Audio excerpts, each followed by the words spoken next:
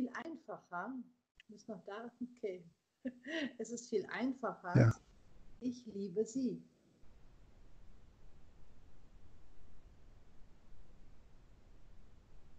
Von vorne? Hilf mir mal weiter. Ja, wir hatten, du hast ja gesagt, dass es darum geht, dass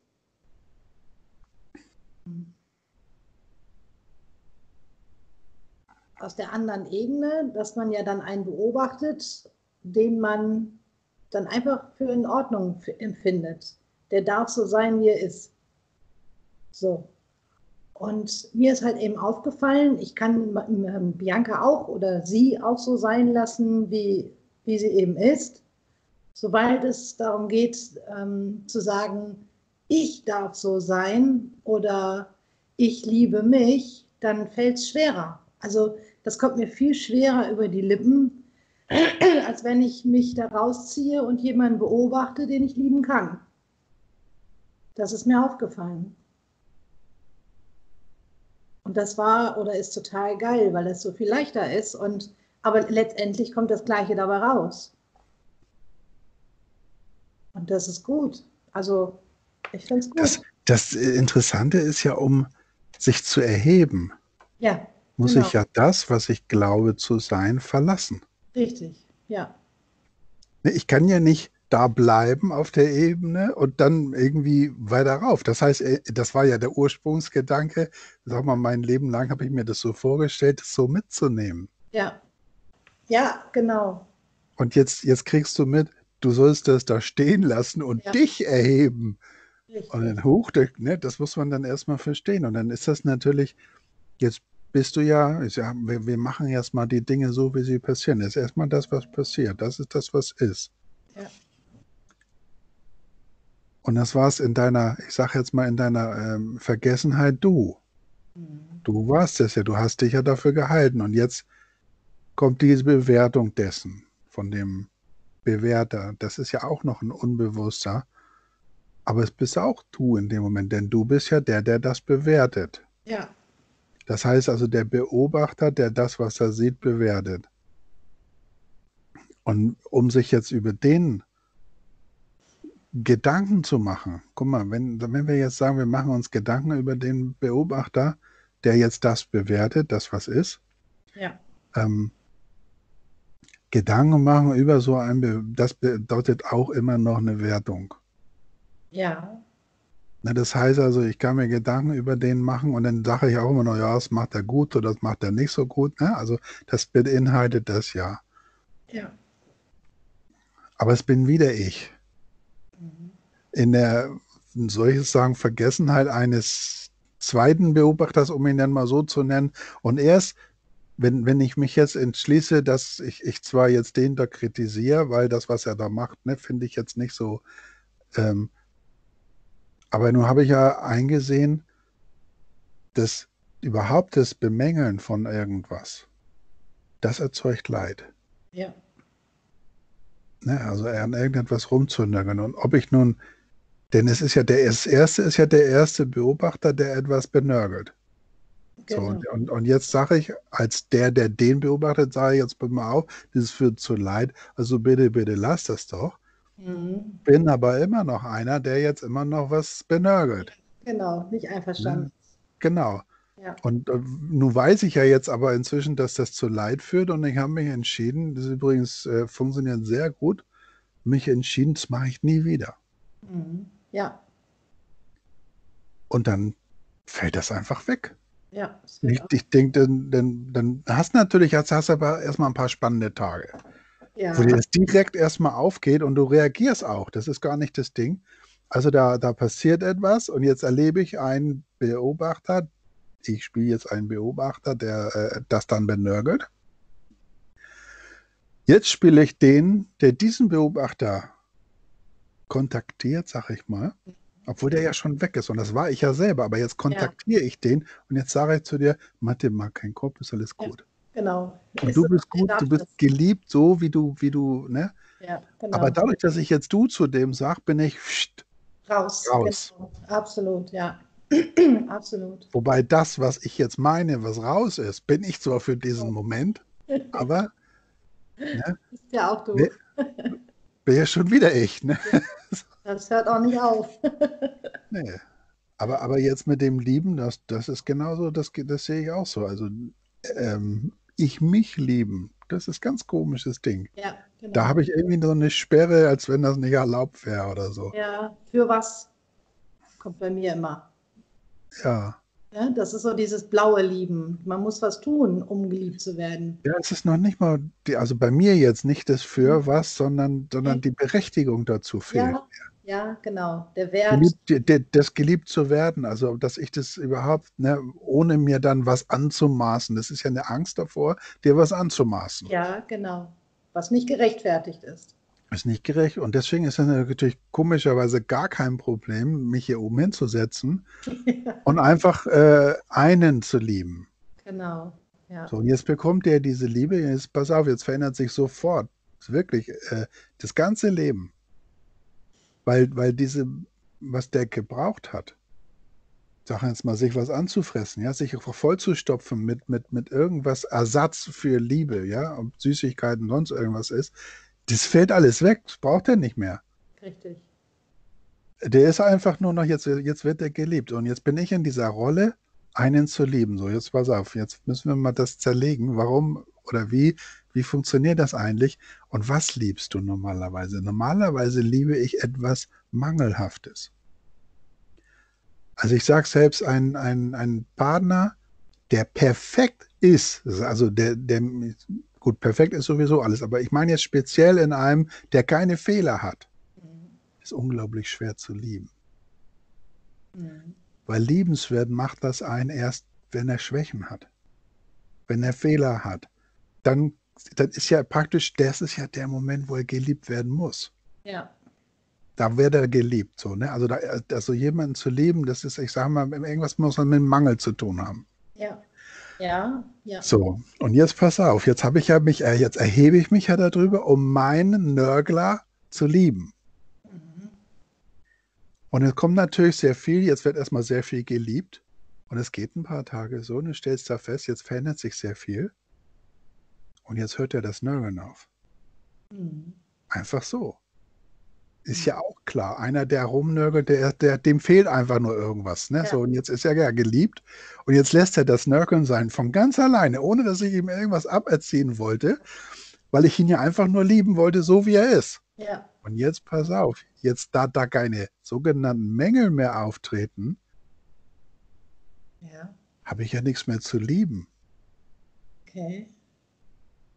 Er hat ja keine Schwächen mehr.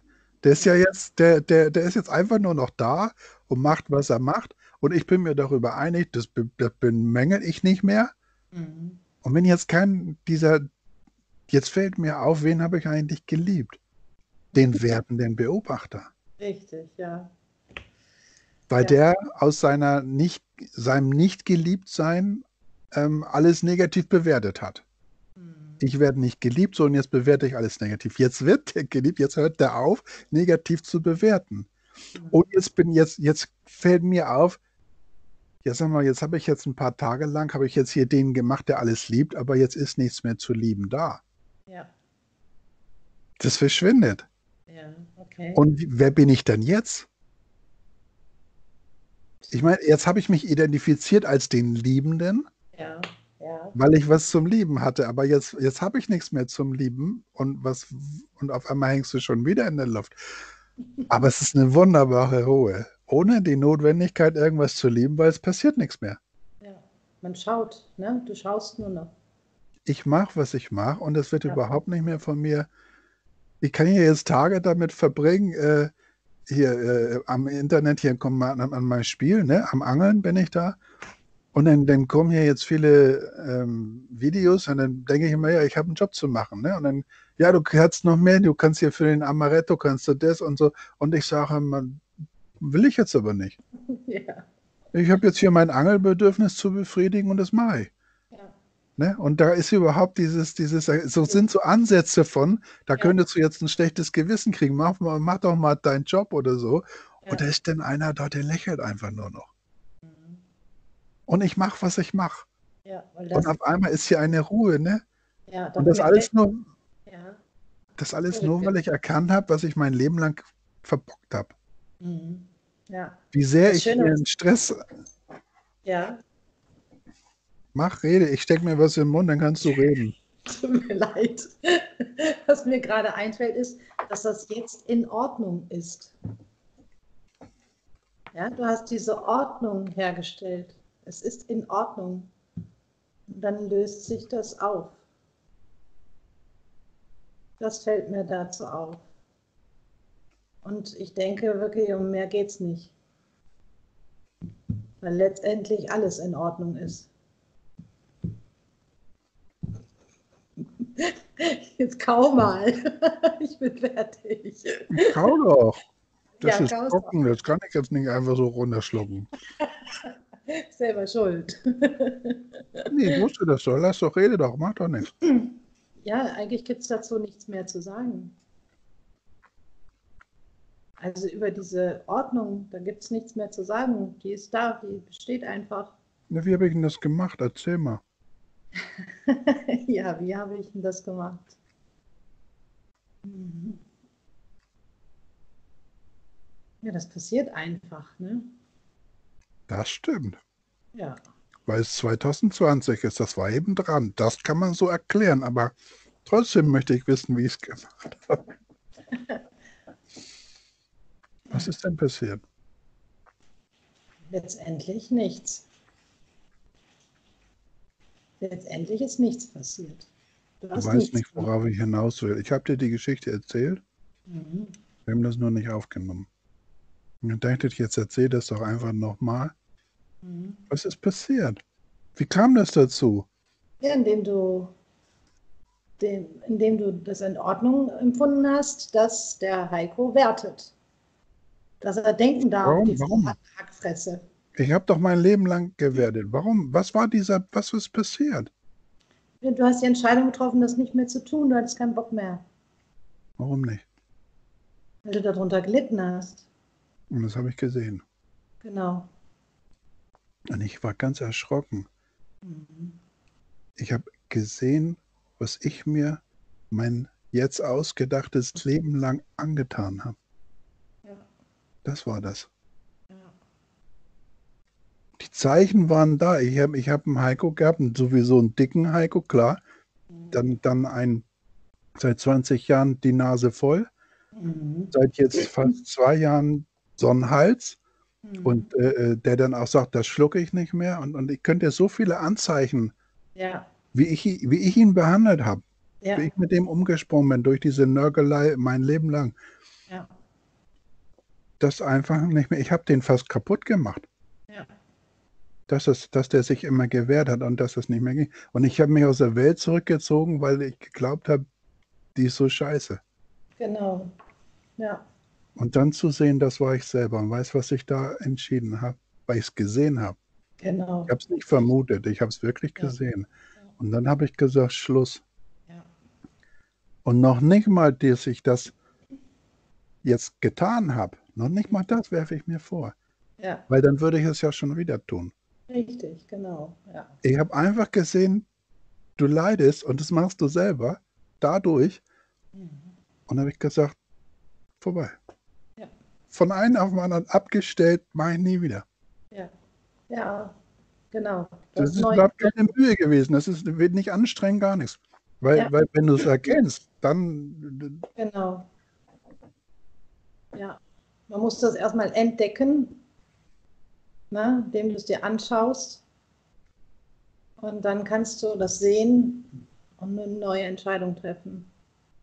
Aber all das hat dazu geführt, dass du heute an dem Punkt bist, dass das jetzt passiert ist. genau, das, Ja. deswegen musste das alles ganz genau so kommen.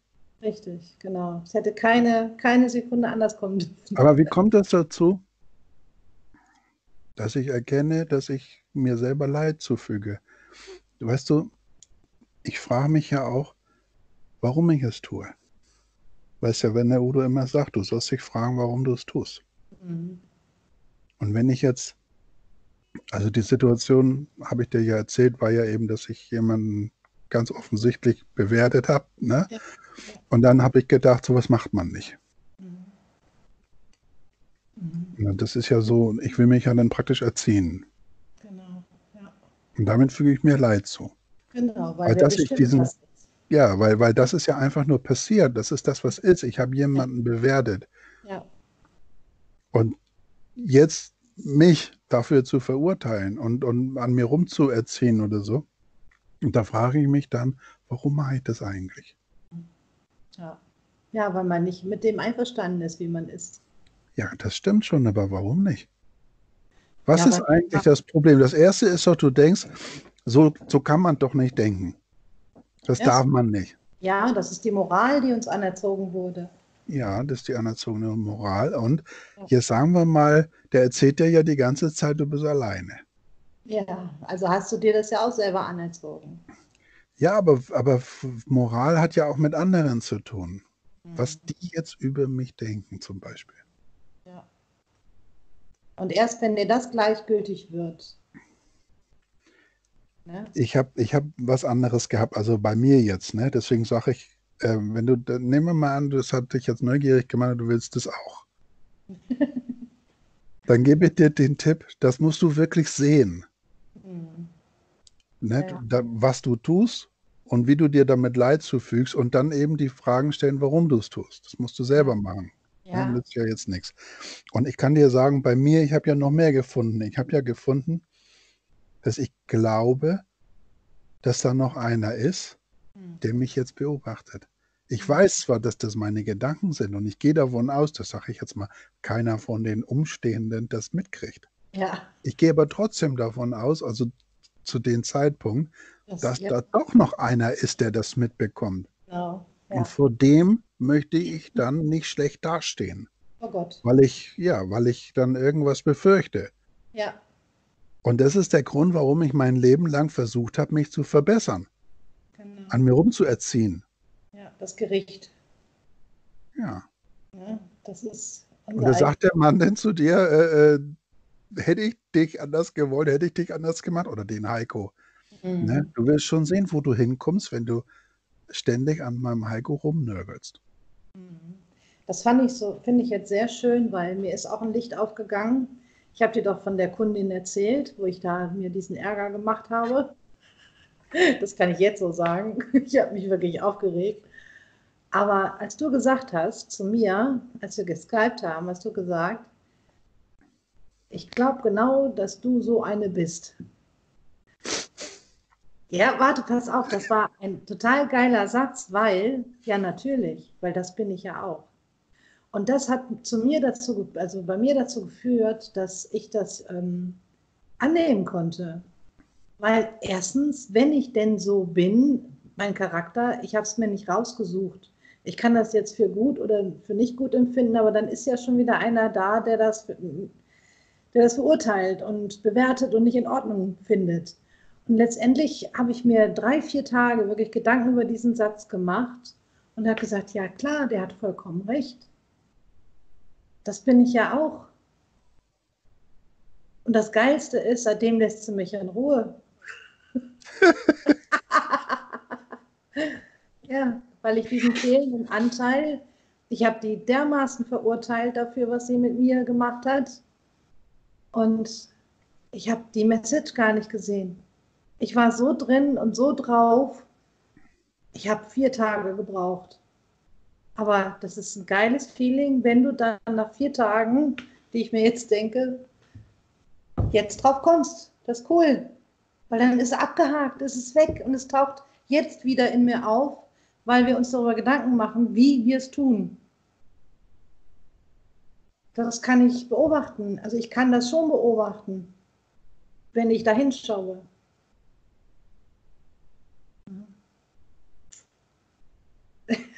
Ja, und das äh, muss ich auch noch dazu sagen, das passiert, ne? Ja. Denn, äh, die Dinge, die treiben dich. Das wird, der Druck wird ja so, also ne, ja. das, das wird immer stärker, dass du es einfach siehst. Und äh, ich meine jetzt mal so, was kannst du dir davon raussuchen, dass du es dann eben jetzt erkennst, dass, dass du in so einer Situation gar nichts kannst du dir da raussuchen. Ja. Und was hast du dir, denk jetzt mal an mich selber, für einen Druck gemacht, weil du meintest, du müsstest irgendetwas tun? Genau. Mhm. Ja, bei mir ist ja nun hauptsächlich das Hebräische da, ne? Null Interesse, wirklich null. Ja. ne? Aber immerhin geglaubt, äh, äh, ja, von, gerade wenn er dann von Reife, oh, denn, ne, das hat mir natürlich auch nicht gefallen, wenn ich denn nicht reif genug bin dafür und so, ne? Mhm. Ja, klar. Ja, ja, klar. Aber das brauchst du ja nicht, um ins Himmelreich zu kommen. das wäre ja wirklich unfair. Letztendlich sind wir ja schon da. Ne? Ne? ja, ja.